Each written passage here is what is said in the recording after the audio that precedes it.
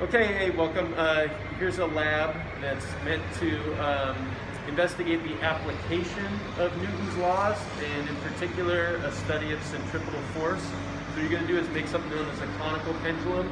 You're going to use a meter stick and some chalk to make a circle on the ground with a diameter of exactly one meter. And then you just need to cut a length of string, and um, well, it needs to be uh, up to two meters long. Okay, so a pretty long piece of string. And at the end of it, ideally, if you were here and we were doing this in person, you'd end up tying um, a lead weight to the end of it.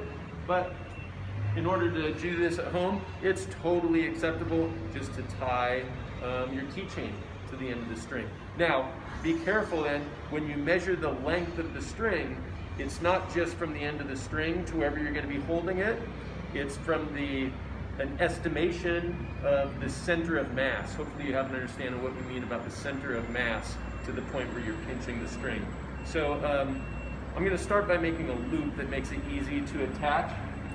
So the best way, if you want to come in tight here, is to fold the string over and then just tie the simplest knot you can with a folded piece of string. And then you'll have a nice loop that you can use to either continuously attach and reattach the weights or if you're putting it on your keys you can always feed it this way. And then once the string is cut you can take the other end and tie it through. Or I suppose additionally in this case I can just clip it on given the nature of my keychain. Okay? So uh, yeah, in the next segment, I'll show you how I want you to make your circle on the ground. Okay, so here's the instructions how you're gonna make a circle that's exactly one meter in diameter on the ground. A piece of chalk, and I have a meter stick, but you can do the same thing with your measuring tape. And uh, so I'm gonna um, just make a mark at the 50 centimeter mark. Just put a little line in chalk, okay? And then I'm gonna mark the ends.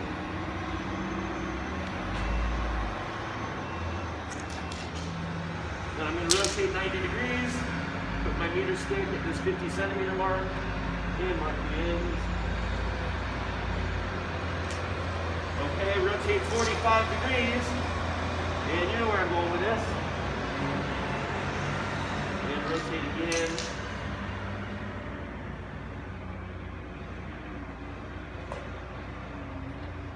Okay, and then do one more set in between all these marks.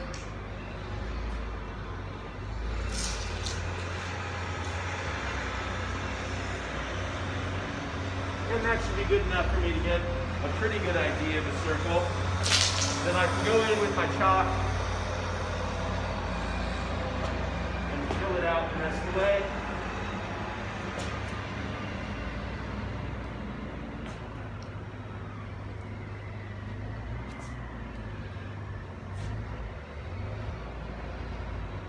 And there you have it. Not only a circle that's one meter in diameter or 50 centimeters in radius, but I also know exactly where the center of that circle is.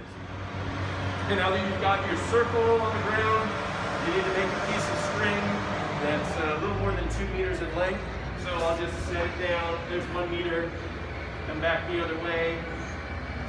That's more than two meters. That should be more than enough.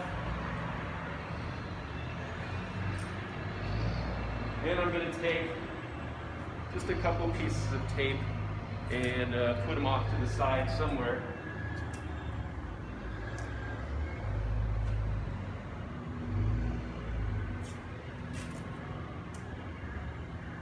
I may need more later, so I'll keep that around.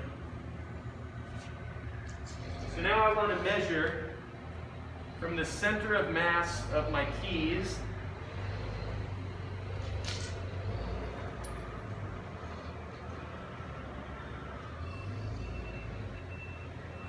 and use one of these pieces of tape.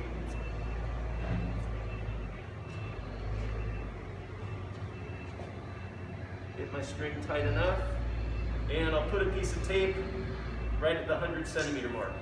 So now I know if I hold this string right at the piece of tape, that I know the distance from where I'm holding it to the bottom is a one meter long pendulum. Okay, so then here we go. This is the experiment. Get your feet wide. Keep your uh, hand above the center mark of the circle. And then gradually start spinning the weight at the end of the string. Eventually, you get it going so that you can see it's perfectly mapping out, very well tracing the circle on the ground. And I'm not way up here, and I'm not so low that it's dragging across the ground. So starting over, right over the center, gradually increasing the speed until it matches the tracing on the ground, getting it just barely, I don't know, what would you say, half an inch above the ground at the most. And once I feel like I can keep it traveling on that circular path, then I give a ready, set, go, and somebody's gonna help me time exactly 20 revolutions. So maybe you can use this foot as the reference mark or something like that. So this would be ready, set, go. And we would have one, two, four. So, and we get to 20 revolutions. I'm not going to waste your time and show you all 20. If you take that amount of time and divide it by 20, uh, then you'll have the period of revolution.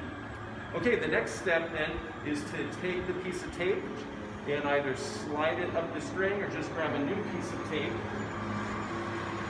And using your measuring tape or using a meter stick, then increase the length of your string by either 10 or 20 centimeters, whatever is indicated in the instructions of the lab.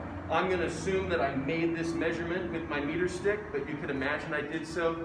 And then this is no longer one meter, but 120 centimeters, for example. And I'm going to do the same process. I'm going to pinch it from that point, and now I know the length of my string. What hasn't changed is the radius of the circle, and I'll get it up to speed, and do my best to trace the circle on the ground. And this time we'll see how much time it takes now that the string is longer. It should be a different amount of time. So basically if I've changed the length but kept the radius the same, I've changed the angle. I've made the angle that the conical pendulum makes from vertical a smaller angle. And we'll continue to do this, working our way up to greater and greater lengths. Now it's going to get to a point where you're not tall enough to do this. So dangerous. I don't need any lawsuits. Make sure you feel like you're on something that provides good balance. And when you're up to a two meter length of string, standing on a chair, it'll take a little bit of practice and a little bit of effort on your part, but you should be able to, even with a great length of string, match the circle that's traced on the ground. So that's it. That's what you're going to do for the data collection for this lab. Um, and uh, the rest of it is explained on your laboratory handout.